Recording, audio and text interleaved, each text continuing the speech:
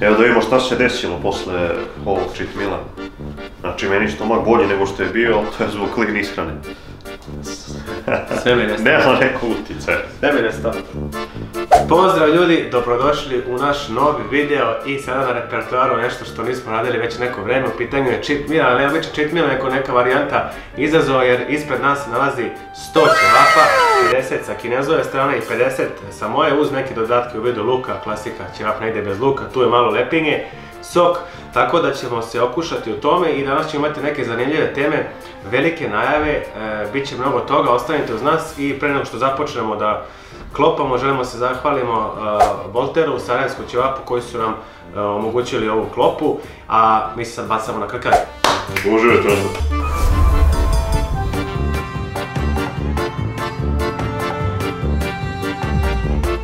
I idemo ljudi da se bacimo na klopu. Ajde, Znači ovdje imamo 20 u tanjiru i po 30 u ovim što su nam ostali. korektno, brate. Perfektno.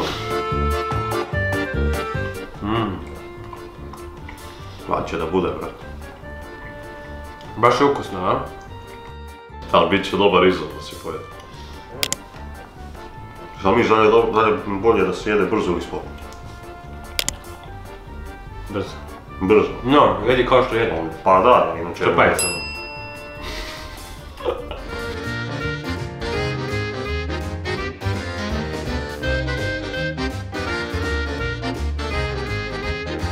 I evo kako se stomak polako puni, možemo da se bacimo i na priču. E, znači imamo neke velike ideje koje se tiču konkretno betlova, takmičenja i ostalih varijanti Kali Warsa i tako dalje. Vidjeli ste na našem kanalu, napravili smo dva betla između e, Kineze i mene i još tamo prvi betal kad smo radili dobili smo neku ideju da, da to malo proširimo. Došli smo do dve ideje.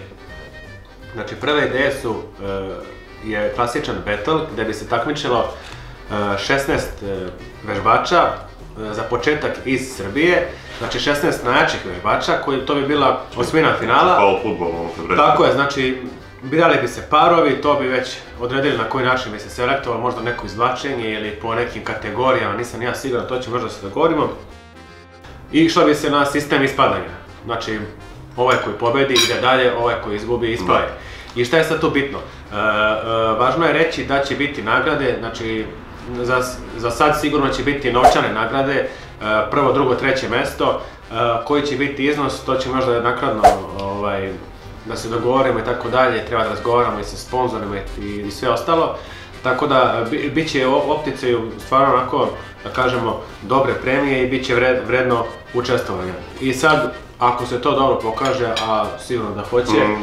e, sljedeća zamisla kad pričamo o toj ideji je da se to širi i dalje. Znači da pravimo za Hrvatsku, za Crnu Goru, za Bosnu, pa onda da ujedinimo region ceo, pa da napravimo još neko veće takmičenje sa još većim nagradama. Znači baš će biti onako da pršti i fešta.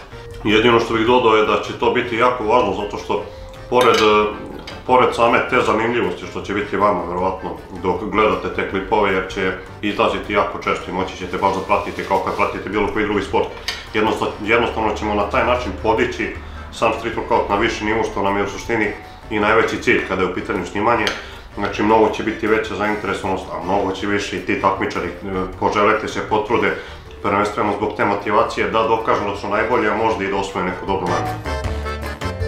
Što tiče drugog dela, to je neka liga. Znači, formirala bi se liga, e, gdje bi bila tabela kao što imate u futbalu, na primjer.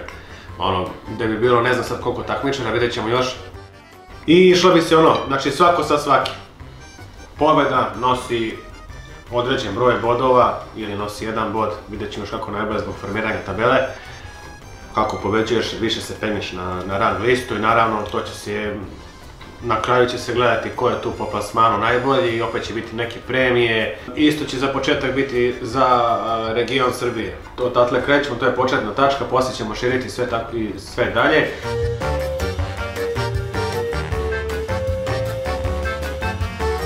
Morao sam uzem predah u vidu kojeg će. Uglavnom, e, gdje sam stao? Znači, kad pričamo o ovom dijelu gdje se formira tabela i to, e, i sad recimo ako to bude 10 ljudi e, u, u, u toj ligi, tu ima dosta međusobnih okršaja i u tom slučaju sigurno bi izbacivali dosta češće videoklipove, nekoliko klipova e, nedeljno, možda čak i svaki dan po jedan video.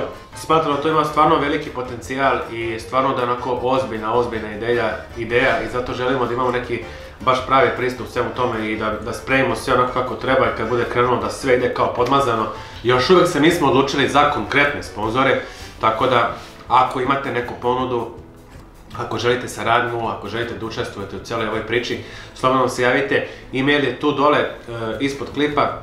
Znači, kontaktirajte nas, e, mi imamo spremnu našu ideju e, koju ćemo izneti i uz međusobnu saradnju sigurni smo da će ovo imati baš onako veliki boom i da će se baš pročuti i da će jednostavno proširiti tu svijest o street workoutu i našem sportu, što je i generalno ovaj cilj. Kad se mnogo priča, ostane puno tajne. Znači, ako nemate apetit, jedite samo što više. To jest, telajte sebe da jedete što više.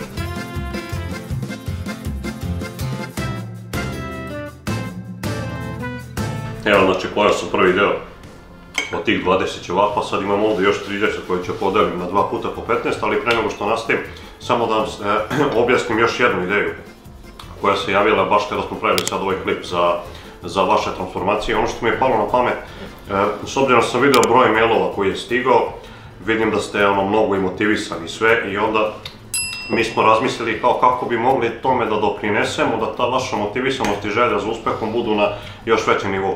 I došli smo do ideje da bismo mogli da napravimo neke, da kažemo, univerzalne planove treninga koji će biti namenjeni najviše rekreativcima i pored toga još neke dodatne savjete za ishranu koje će naravno pomoći da se što pre dostignu željeni rezultati i sada te planove bismo podelili, znači to je neka početna zamisao u tri ili recimo od 3 do 5 različitih e, nivoa težine i koji će biti naravno podeljeni različitim e, vežbačima. Znači, u zavisnosti od toga koliko ste spremni, dobit ćete, to jest odabrat ćete određeni nivo i svi će da treniraju 8 nedelja. E sad, šta će da bude e, glavno pravilo što se tiče svega toga, znači kako biste u stvari selektovali na kom ste nivou, slaćete nam snimak gdje ćete raditi maksimalan broj zgibova i sklekova i pored toga ćete na kraju recimo tog snimka da ispozirate i da bismo mi mogli da vidimo kako izgledate na tom samom početku i onda ćete naravno moći da prikažete rezultate koji su postignuti za 8 nedelja i neće niko moći da vara. Znači u odnosu na to ko bude najbolji, bit će selektovani oni koji će dobiti nagradi. Sad ako ste podeljeni u tri, znači ako budu podeljeni u tri grupe, onaj ko je najbolji iz svake grupe dobit će e, vrednu novčanu nagradu, da će to da bude procenat od ukupno prodatih treninga ili će neka druga suma, to ćemo naknadno da, da utvrdimo i da vas obavestimo. I ono što je jako bitno jeste da to neće biti uopšte skupo, znači bit će neka, da kažemo, simbolična cifra čisto da biste e, učestvovali i imat ćete te neke dve velike motivacije, prvo što ćemo mi da pratimo taj vaš napredak, to jest imat ćemo uvid u to šta ste postigli tih 8 nedelja, a drugo što ćete moći da ostavite, da osvojite tu vrednu novčanu nagradu i sad nekog će da pokrene ovo jedno, nekog će ono drugo, ali ono što je bitno jeste da ćemo na taj način postići da se maksimalno veliki broj ljudi uključi u cijelu priču.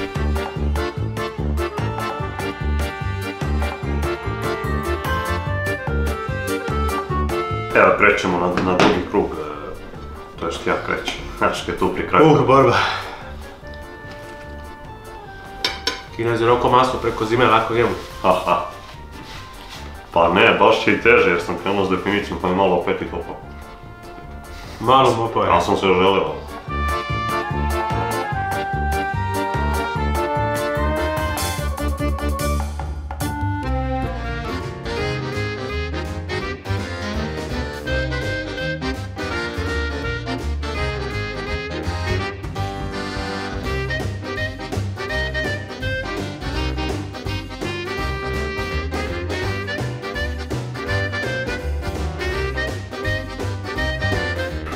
I Kinez je došao do posljednje etape. Ovo je kao neka trka. Posljednja tura, pogledajte prazno, nema ništa, nema magije. Ali, boga I luk je skoro do kraja, stomak pun, a? Pa, poprilično. Inače da, da nema BTTV majicu, sad bi se vidjelo Vidjeli se stomačina, ali posto... Ne nije još vremena Ali pošto majica radi tu kompresiju, automatski možeš čak i Znači majica je magična, ljudi poručite majice, evo vidite ovdje BTTB shop, javite nas je na Instagram naše. Mm. Odgovorit ću vam, evo ja sam na ovoj drugoj etapi. I dajte neku podršku u komentare za ove ćevape, nije uopšte lako.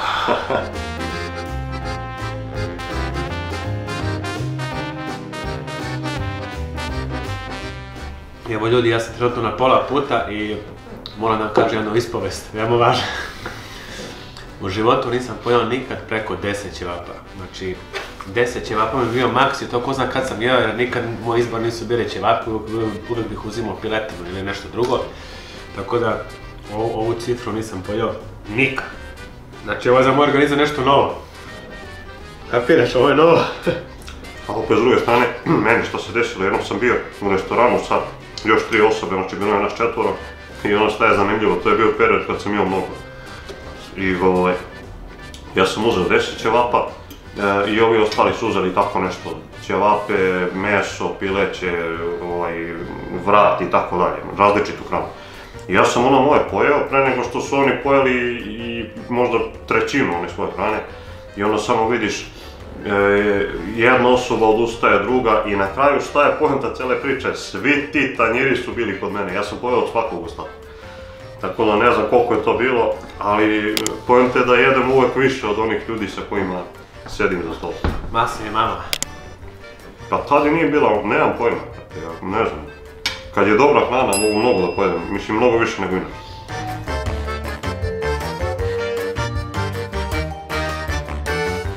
Ajde, provjerimo stomak. Šta ja da provjeram kad ga nisam i popravio,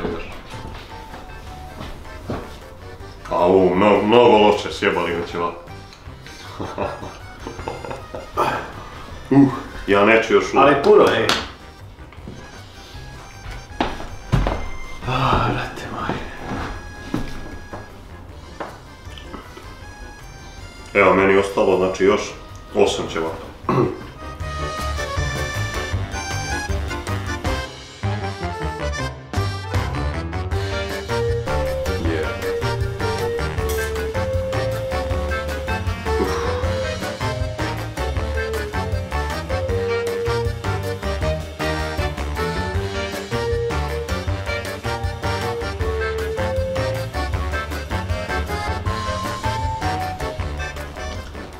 Brate, ja sam pun, majke.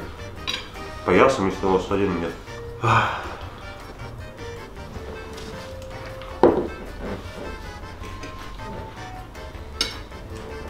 Pojedi ta četiri, izrađaj ih 15 slova. Opet.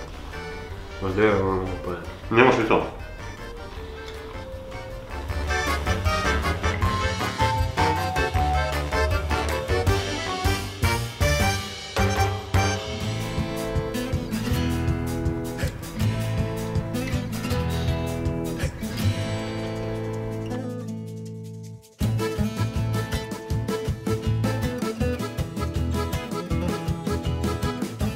I evo ljudi, ja sam svoj deo upravo očistio.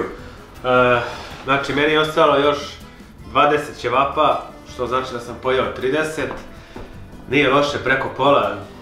Za Preko utjehu pola. ne mogu stvarno dalje, e, pun sam, nemam želudac kao što ima on. Znači, stvarno mislim da kad bi pojeo još jedan, da bi sve ovdje povraćao na tanjir, propade izazov. A nije, to samo čini, brate. Tako da, što se mene tiče, ovo je dosta. Ja sam završio sa klopom, stvarno sam. E, baš sam se najavio. Evo, što se mene tiče, ovo mi je sigurno rekao što se tiče tog broja ćevapa, nisam, nisam nikad jeo preko 50, to je garantovano. Tebi isto, tako? Brate, Tebi pa je da. rekord bio 10. Meni je rekord bio 10, nije da ga nisam jurio, ali ovo je novi rekord. Ja mislim da sam ja ranije. E, mislim da sam pojeo nekoliko puta po 40 Uje. e, za večeru, tako da eto, ovo mi je još Uh, level iznad nije baš da je bilo lako, znači da kažemo da sam ovim probio tu neku granicu koliko sam inače ranije jeo. E, I sad što se tiče ovog cheat meala, znači ovo je meni otprilike kad sam krenuo sa, sa clean ishranom, tom, či- tom čistijom, prošlo je četiri nedelje i onda sam odlučio najviše, eto zbog sebe kao ajde da snimam Aške i onako jede non stop čisto, a to je isto razlog što nismo u prethodnom periodu snimali cheat, cheat obrok jer je besmisleno što bi snimao cheat kad ga jedem non stop. Da, svaki dan cheat. Da, da, da, znači ovo je sad realnije, znači stvarno je cheat i stvarno je neka, da kažemo, dobra hrana. Čuli ste ideje koje imamo što se tiče tih takmičenja i što se tiče tih e, nekih ideja kojima ćemo da poguramo kompletnu populaciju da se više bavi sportom i samim street workoutom, napišite u komentaru šta mislite o toga i o tome i obavezno napišite koji je vaš rekord kada su u pitanju ćevapi, koliko ste najviše uspjeli pojeti. Vidimo se sljedeći Ali to nije kraj, Kinez je otišao, ne može više sedi, pošto ima 300 kila više. Ako imate neke ideje za cheat meal, šta bismo mogli da klopamo, pišite dole u komentar. Također napišite lokaciju ako znate neko dobro mjesto. Nije bitno da li etno, šta god, slobodno, pa mi ćemo možda to isprobati.